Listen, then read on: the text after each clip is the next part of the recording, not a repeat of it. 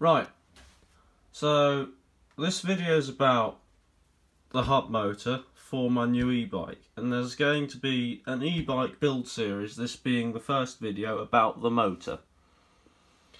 Now this is a MXUS 3K V3 hub motor which is a 3000 watt but it can handle up to about 13 kilowatts without getting too too hot. So yeah, this thing will have a, a heat sink called a hub sink, which is basically a bent heat sink, and that's going to go on there.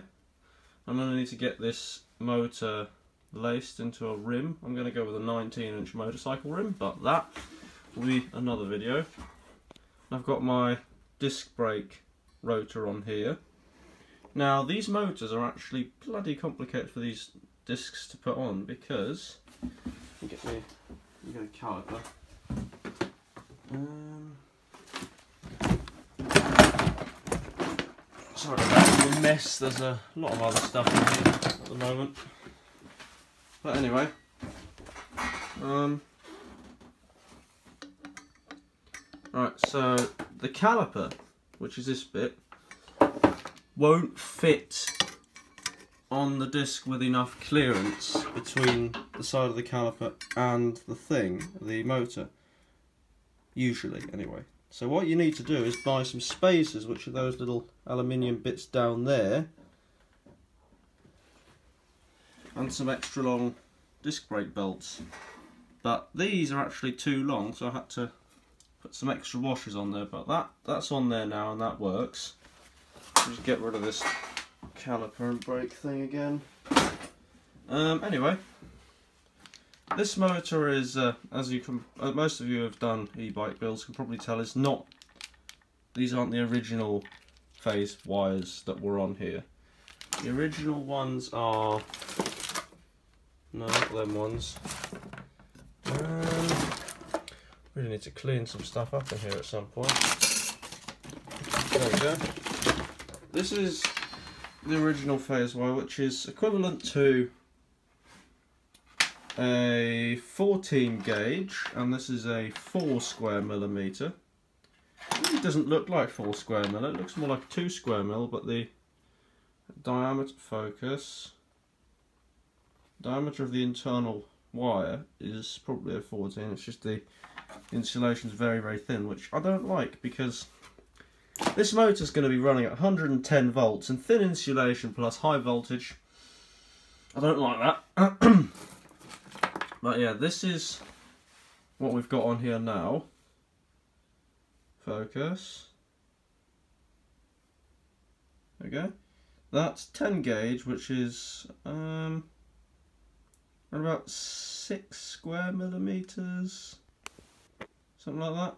And this has got very, very thick insulation. It's also silicone insulation, so it's high temperature. This is what I had left over. I bought five meters of the stuff, and that's all I had left over. This is about two meters, so I used three meters in the build, one meter for um, each one of these. And for connectors, I've got XT150s, which can handle 150 amps continuous and a maximum of 250 amps, which is quite a bit.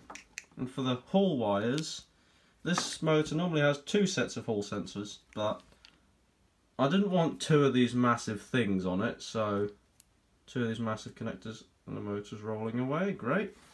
Um, I've put some loads of heat shrink over to protect the wires and this is a automotive waterproof 6 pin connector. another thing was getting all these wires in here, if we have a look down there, is very very tight and there's not much clearance in between the outer rotating bit and the wire as you can see there. It's only about maybe one two millimeters. And they can't touch this outer bit otherwise they'll get sliced up and my entire bike will become live which is um, not what you want. But anyway this is pretty much all there is to go on about the motor. I've got a little single speed freewheel on there which is uh, not a particularly good one, but not the worst. And the problem with this is, what I didn't realise because I'm an absolute idiot, is that single speed freewheels, this is a freewheel off of a BMX, will not fit a regular 9-speed chain because the teeth are too wide. So this is now useless until I buy another freewheel that fits this 9-speed or another chain, which is not going to work because it won't fit my crank set, so that's useless. Just, um, just a second, I'm just going to put my box of bike parts back up there. Sorry about all the mess, this is um, quite packed in here recently. But moving on with the uh, motor, that's all there is to talk about on the motor. This is a three turn motor, so it's a high speed one. You can get four, five, and six turns, which are the lower speed, higher torque. This is an 11 kV, 11 volt, 11 uh, RPM per volt, I think it is. That sounds about right. Um, or is it 11.9, something like that. Now let's get that out of the way. This is the cable that goes in between the controller and the motor. So as you can see, this is a very nice wire, labelled with clear heat shrink. I'm using an Ethernet on this end for the hall wires. Now this cable, this took a bloody long time to make because each one of the individual ones are also screening in the braided cable sleeving. And then the entire thing has got braided sleeving over the top. So on the other end, we've got your XT150s and the um, 6 pin hall connector which just plugs in there.